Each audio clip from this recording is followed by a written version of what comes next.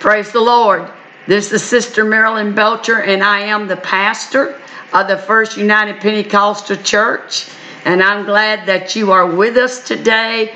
I'm thankful that God is in control. Uh, the last few days, our weather has been just off the chart, and yours may have been too. And so we were in the high 70s yesterday and told that we were going to get some severe weather, but God. And thank God we didn't because we've had severe weather just about every day since the beginning of this year. And we're only into mid February.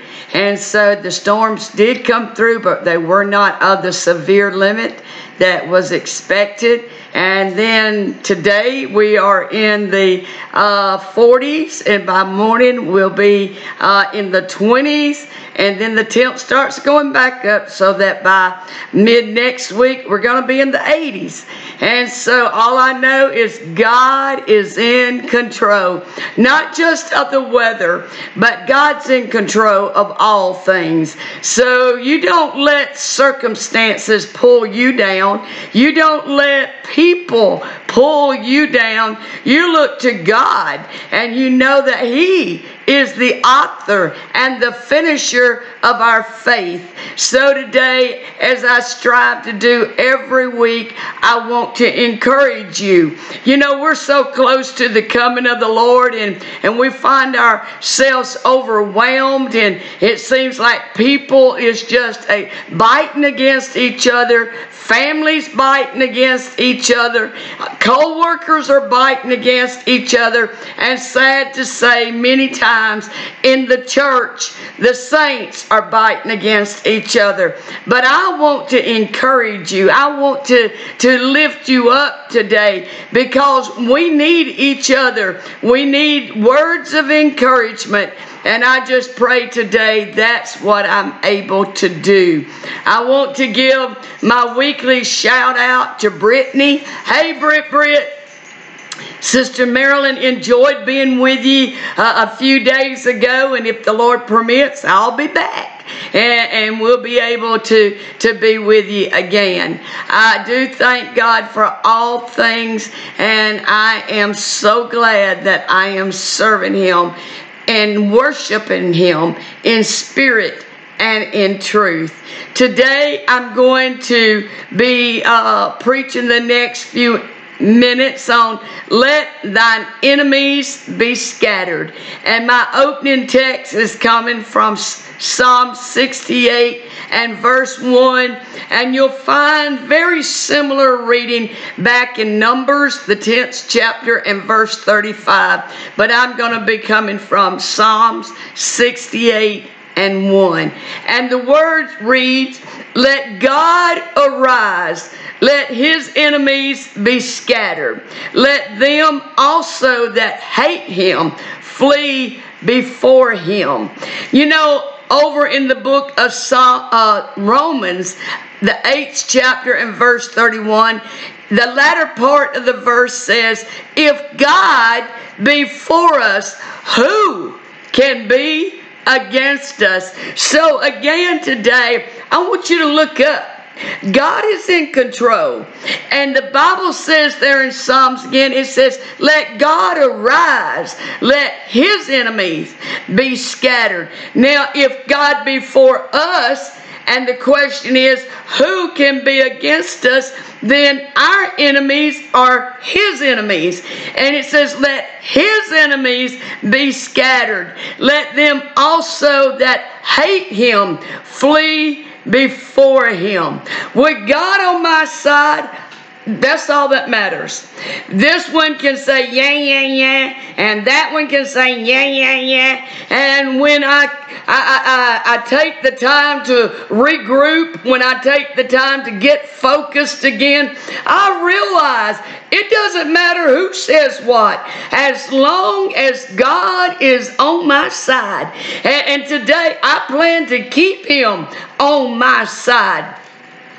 In Psalms 89 and 10, the scripture reads there, Thou hast scattered thine enemies with thy strong arm.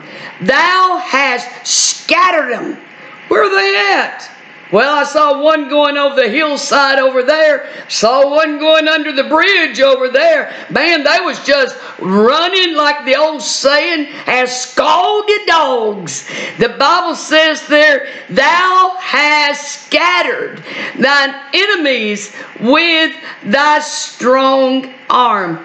The Bible teaches us to resist the devil and he will flee from us. How could that be? Because God arose and let his enemies be scattered. Let them also that hate him flee before him. We've got the Lord on our side, and that's enough. Let me tell you, my friend. Get God on your side. If you feel like all you do is fight, fight, fight. As some would say, you're just beating the wind and you're fighting.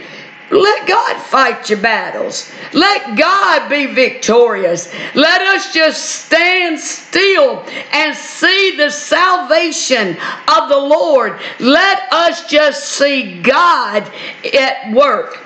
Over in Psalms, also the 34th chapter and verse 7.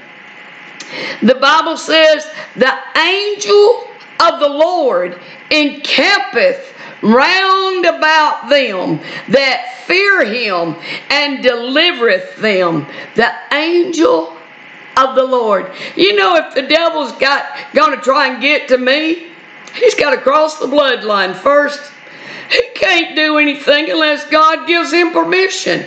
And any power and all power that old Slewfoot has is what God has given him. He couldn't go against Job unless he had God's permission. Not one time, but two times. He had to go before God and get permission from God, and then God gave him limitations about what he could and could not do. So if that applied to Job, my child, today it still applies to us.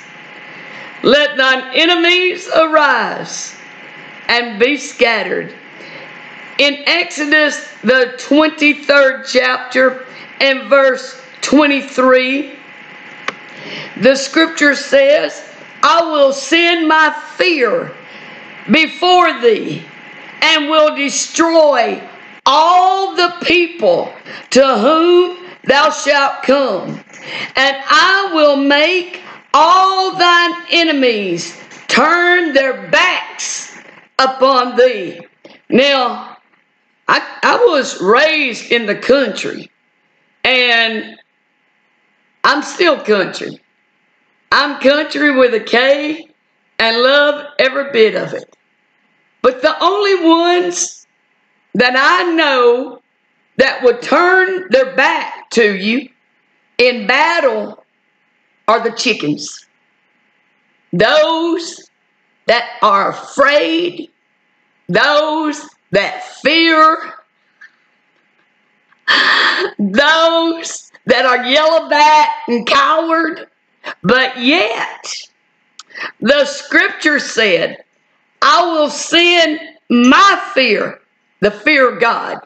I will send my fear before thee and will destroy all the people to whom thou shalt come.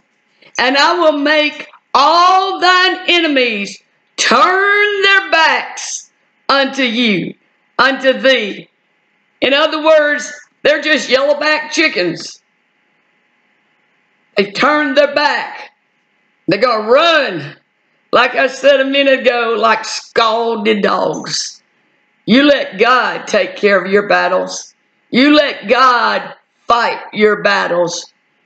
It kind of be like the woman and that, that they said they caught in adultery.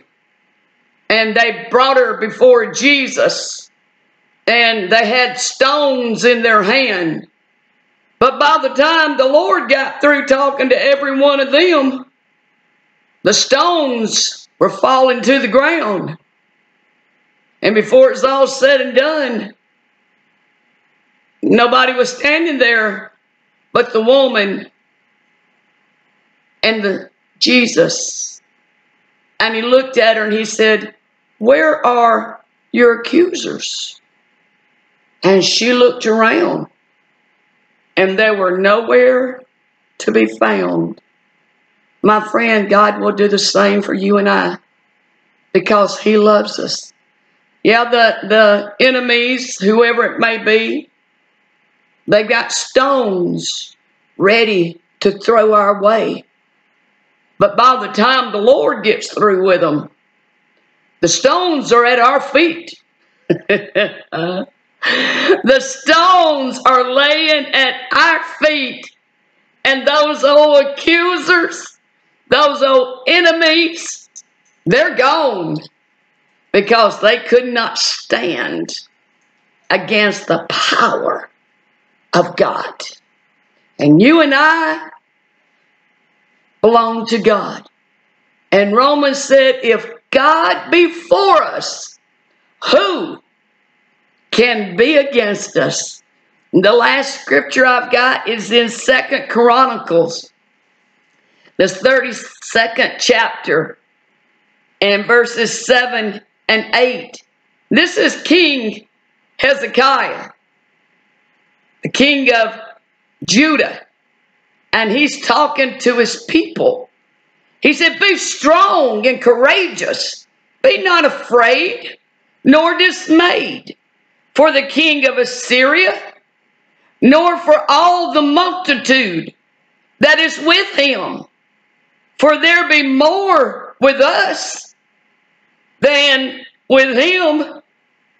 Now, there was a lot of people, but the Bible says that the angel of the Lord encampeth around about them that fear him and deliver them. So I just feel like there was a lot of angels encamped around about Hezekiah and his people of Judah. And he went on in the verse 8, he said, with him, talking about old king of Syria, he said, with him is an arm of flesh but with us is the Lord our God to help us and to fight our battles. And the people rested themselves upon the words of Hezekiah, king of Judah. Let's find rest today in the words and in the promises of God. If God be for us, who can be against us? Heavenly Father, we come before you this day thanking you so much, knowing that you're fighting our battles, knowing that the old devil and all the enemies, God, that they have to flee. When we call upon the name that is above every name, when we call upon the name of Jesus, they have to flee. And I thank you for that today. And I ask that you help the dear people to call upon you and to serve you. In Jesus' name we pray. Amen.